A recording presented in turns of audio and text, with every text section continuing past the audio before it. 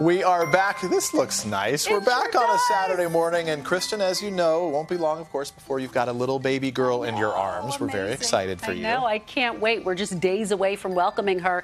But I still have questions. And fortunately, I was able to rely on a group of amazing moms, including my own, to get some last minute insight. Mom, are you ready to become a grandmother? I am absolutely ready. What kind of grandma are you going to be? I will spoil, I will treat, but mainly I can't wait until she gets old enough to go shopping. Dylan, you are expecting your third. We're working our brain around the logistics of living in a New York City apartment with three boys, but you know, the excitement of, of meeting someone that no one has met. Laura, who's one of my oldest friends, knows what it's like to be the mom of a girl. She has two girls. Zoe is going into sixth grade. She is graduating from a cubby, we say, to a locker. She's going to have homeroom. I don't know if I would know how to be a mom to a girl. You would learn instantly. My girls are they're pretty mellow. I think what my husband and I are anticipating are all of the, the hormonal and all of the changes that'll come when they're teenagers. Julie, what exactly was Kristen like as a child? Was she mellow?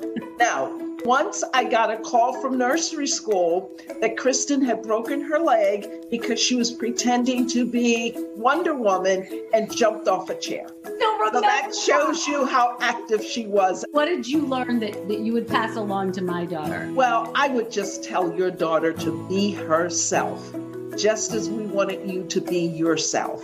Dylan, what are some of the lessons you've learned along the way? There's such an, a, a roller coaster of emotions that you're going to go through because at first it's like this sweet smelling amazing little just bundle of, of love and then after several nights of losing sleep your mind starts to go crazy You know, I would think, um, oh, she needs music, and then be like, oh wait, that's too much music. She needs some movement. Oh, that's too much movement. And this like quest to find the perfect balance. When she slept through the night, I got up in the morning and panic set in. Do you ever have a moment like that where Zoe and Una slept through the night and you thought, what's going on? Oh, absolutely. Except I was like, this is wonderful because You were becoming a mom Yes. and the business world was not as supportive of working moms. Was that That's tough?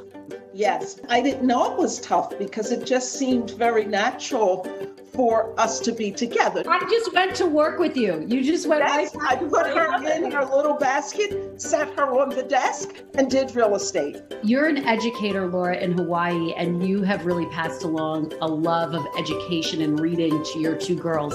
I used to have books in the car and I used to read stories when they were eating.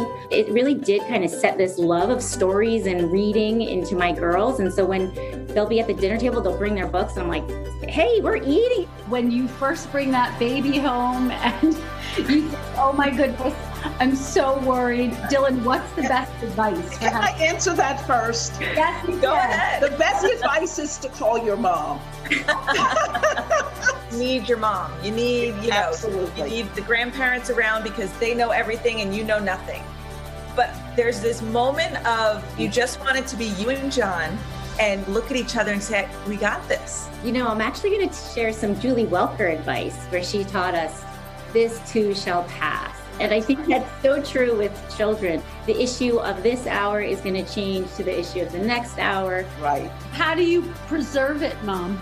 Record it, you know, write it down, take photos. And again, the most important thing is to spend as much time with her. And I love you so much. I love you too, Mom.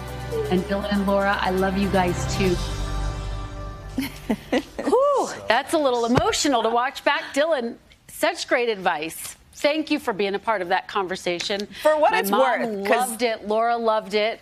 there's there's also i mean no advice that you can honestly give to to a new mom because you're you're going to just figure it out yourself I know. I've learned so much from you and you, Peter, a dad to the two most beautiful girls. You've got you've got two babysitters blocks away if you need us at any time we are there. But honestly, as much preparation as you did for that debate about a year ago, you are more than you could possibly pre- prepared for this. We are so thrilled for you. We've been giving you as many pieces of advice and gifts as we can. So the gift I have as you depart today, Another okay, one? is less for the baby and more for you and John because it is the start of summer and you guys entitled a little moment to celebrate yourselves. So a toast to you guys, a little margarita cocktail kit. That is so sweet of you. We get one more margarita because no more the Then it's day. game on. exactly. It'll help you It get some sleep game in the final days of I the want both of you to be prepared for lots of middle of the night phone calls from me, asking for more Yes. advice. You guys have just showered me in love. I'm so grateful. Text me anytime, and I also want to say you'll never have enough onesies or diapers. They'll they'll spit up, you know, they'll make a mess of all of them. But this one you might want to you might want to save to the side oh, because you don't really want to stain this one, just in case you're missing Peter I while you're gone. We'll I'm leave that- pinning that. up on the nursery. We'll leave that one in the drawer, I think, for a little while. Dylan, appreciate that very much. We are we are Love psyched for you. guys. You are going to be Love the world's you. greatest Love mom. you. Mwah. Love you guys. I'm going to miss you guys, but I'll be back in just a few months. Yeah. Hey, thanks for watching our YouTube channel. Find your favorite recipes, celebrity interviews, uplifting stories, shop our favorite deals, and so much more with the Today app. Download it now.